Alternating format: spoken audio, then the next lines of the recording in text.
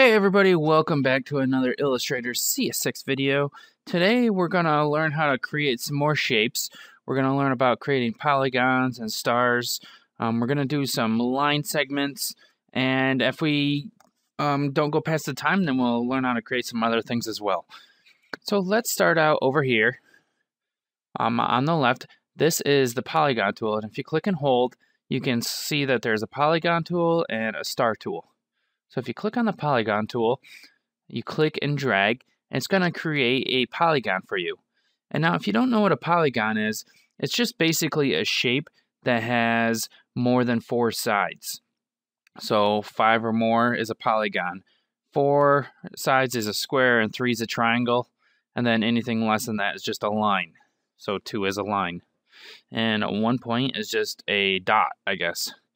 So let's go on and uh, I'll show you a couple more things that we can do. If you click and then you hold shift, it's going to create a proportional shape for you. And you can see as I'm moving around, it's not spinning or anything. That's because I have shift held down right now. If I click and not hold shift, I, you can see I can spin this around and do whatever I want there.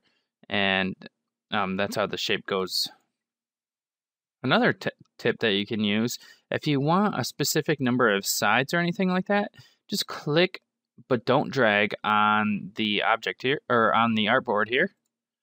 And then this uh, little dialog box will come up. You can select the radius that you want, which is going to be how big it is.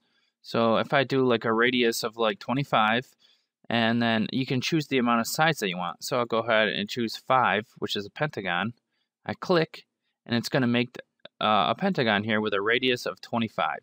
And the radius is going to start out from the center and it's going to come out to these points here.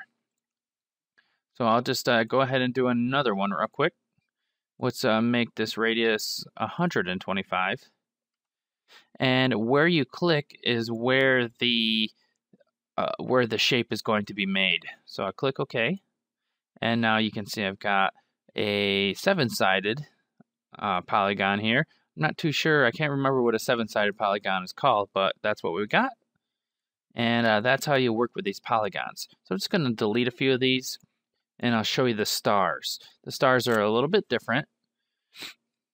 If you click and hold, and you come here to the star tool, and click and drag, you get a star. And uh, this is going to be the default shape. This, this star has five sides and um, you can also hold down shift to get it to be proportional and straight and everything like that for your star. Now go ahead and click and then we get some new things with our star. Now the stars in Illustrator are defined by two different radiuses and then you got the number of points here. I can increase this to like 12 points and then our two radiuses I'll explain here. One, the top one here is from the distance to the uh, from the I mean from the center to the outermost points. So if I start here, it's going to come out to these points. And then you got the second radius here, which is towards the innermost points. So um, the innermost points here, like where my mouse is circling around. So these points. So you can um, change your star up. So if we want to have like some kind of like an ob oblong star, so let me get uh, rid of all this stuff. Let's try like something like 25. Then we got 12 points, and I'll hit OK. And you can see now we've got a cool looking sunburst kind of thing that I've made here. And you can just mess around with these. I'll bring this, make it like proportionate or something like that. I'll do 50 and 50.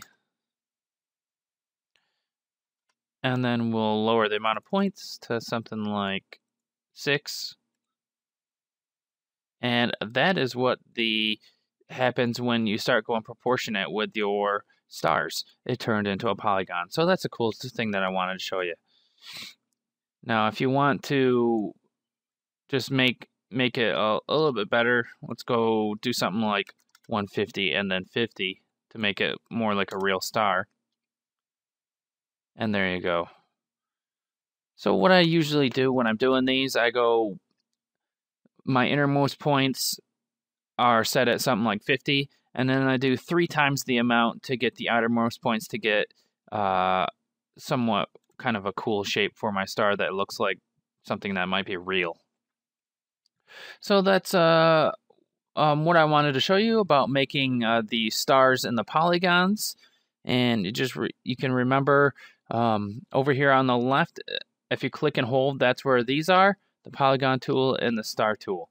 And the main thing to remember is that you just click on the artboard if you want to manually enter in or need to change the number of points that the or sides that the stars or polygons have.